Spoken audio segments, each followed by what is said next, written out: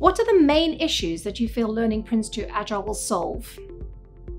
Well, for those who are applying a project management framework already, but find that it's inflexible, or the success or the results are not always as expected as maybe products take so long to deliver. Some project managers may already be familiar with the Prince2 framework, but want more flexibility in the way in which you work and are wanting to deliver incrementally and therefore deliver value earlier to the organization.